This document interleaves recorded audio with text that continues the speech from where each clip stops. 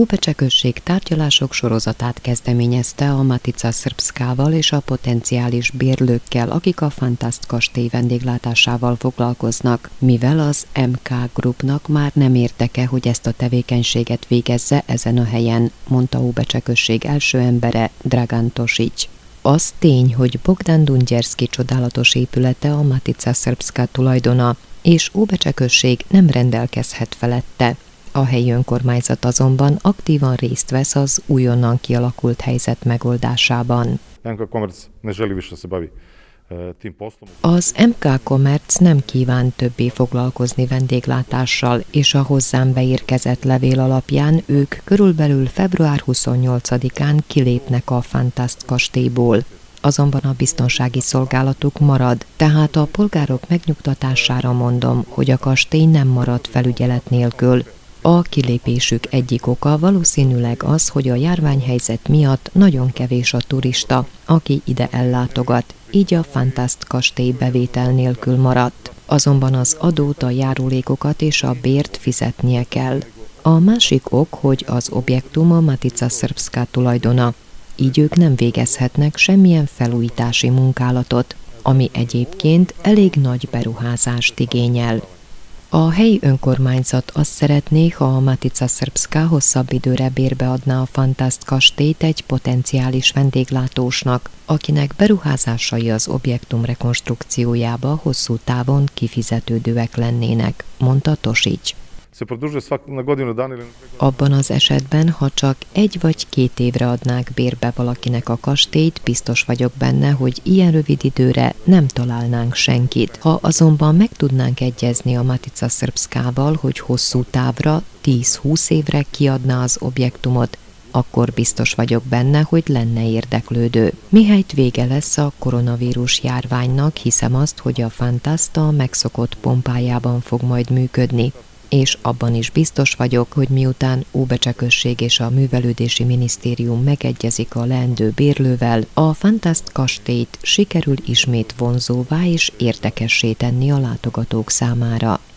Márciustól a Fantast étterme már nem működik, és nem lesz lehetőség szobabérlésére vagy az épület belsejének meglátogatására sem. Tosics azonban hozzátette, hogy a lovarda a lovakkal és a kastély környéke a polgárok és a látogatók rendelkezésére áll.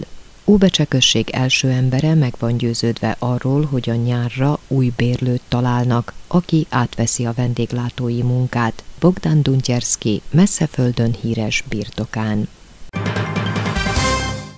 Az Ubecsei oltóponton az elmúlt öt napon 1111 polgár vette fel másodszor a kínai Sinopharm társaság vakcináját. A Vajdasági Közegészségügyi Intézet immunizációs terve szerint ma 180 személy kapja meg a kínai védőoltás második adagját, 82-65 évnél idősebb polgár pedig felveheti az orosz Sputnik V vakcina első adagját.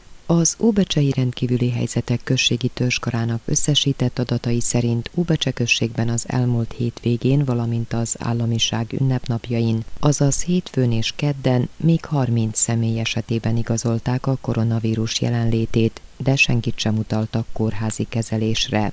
A Vajdasági Közegészségügyi Intézet adatai alapján Óbecse községben február 16-ával bezárólag összesen 1526 polgár betegedett meg a koronavírustól, ebből 108 COVID-19 vírussal fertőzött aktív esetet tartanak nyilván. Az Óbecsei Egészségház COVID rendelőjében az elmúlt öt napon nem volt szerológiai gyors tesztelés, azonban összesen 78 antigéntesztet végeztek el, ebből 26 lett pozitív a koronavírusra. 23 tesztmintát küldtek elemzésre a Vajdasági Közegészségügyi Intézetbe, ahonnan az eltelt 5 nap alatt 30 PCR teszteredmény érkezett. Közülük 4 pozitív a COVID-19-re.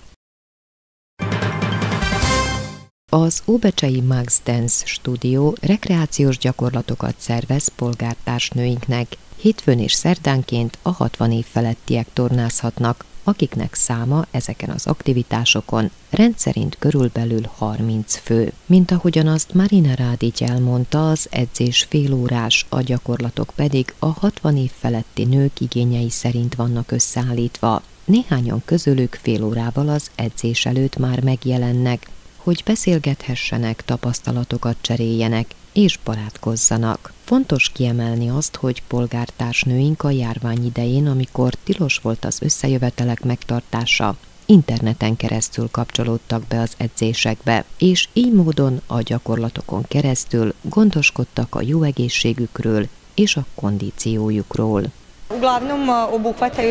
Az edzés magában foglalja különböző labdagyakorlatokat, de használunk még botokat, gumit, tornaszőnyegeket, minisújzókat is. Az erőnléti gyakorlatok mellett kardió és nyújtó gyakorlatokat, valamint légző gyakorlatokat is végzünk, amelyekre nagy szükség van ebben az életkorban. Ezek a gyakorlatok mindenki számára fontosak, mivel vannak, akik sokat állnak vagy ülnek egy helyben, és fizikailag egyáltalán nem aktívak, főleg a 40, 50, illetve 60 életkor után, amikor a test a leginkább kezd elernyedni, és az izmok egyre gyengébbek. Ahhoz, hogy megtartsuk szervezetünk és testünk egészségét, szükség van rendszeres tornagyakorlatok végzésére. Néhány résztvevő elmesélte, hogy mennyire elégedett, és hogy miért jár a rekreációs edzésekre. Én még újonc vagyok a csoportba, most második hónapja, hogy járok aktívan. Már régebben szerettem volna bekapcsolódni, de sajnos nem volt rá időm. Nagyon meg vagyok elégedve a lányokkal, ahogy amilyen gyakorlatokat bemutatnak. Első két héten hát nagyon nehéz volt, de lassan a kondíció összejön, és nekem nagyon tetszik. Régebben már évekig tornáztam, de aztán sok év kihagyás után most végre elkezdtem újra, és nagyon elégedett vagyok, nagyon jól érzem magam.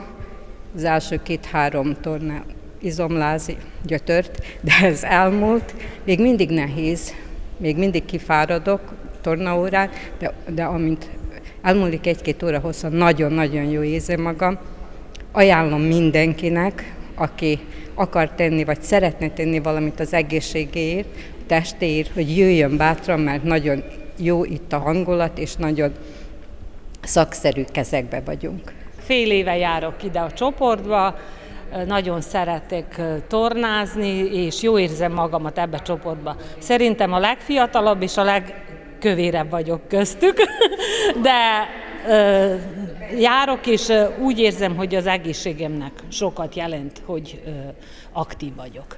A Max Dance stúdióból azt üzenik, hogy mindenkit szeretettel várnak, aki szeretne rendszeres tornagyakorlatokon keresztül kondíciót gyűjteni és változtatni testalkatán. Bővebb tájékoztatást a csoportokról és az időpontokról a 063 872 20 20-ás telefonszámon kaphatnak.